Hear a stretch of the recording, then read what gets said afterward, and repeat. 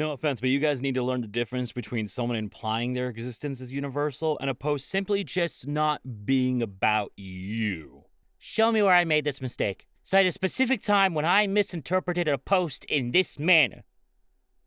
It's. It's this one.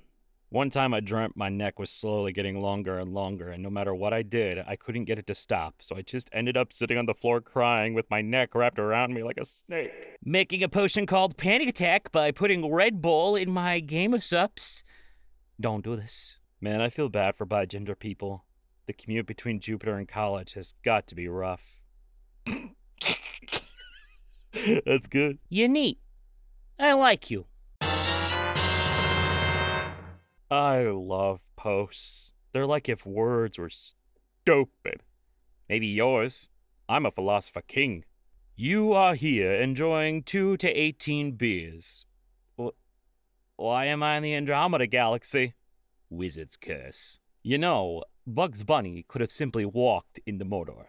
He would have shown up at the gates of Mordor in disguise and been like, Evil Volcano Inspection Unit, and flashed a fake ID badge to the confused orc. I love the implication here that the One Ring would have little to no effect on bugs.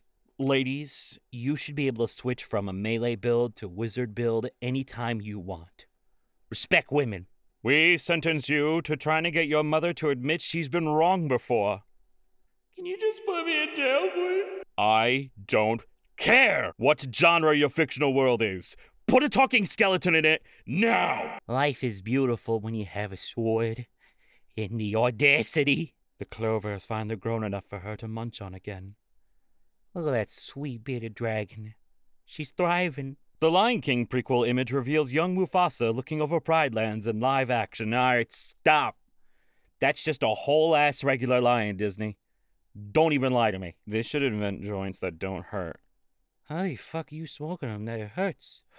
Oh shit, you mean like bones. We related misunderstanding.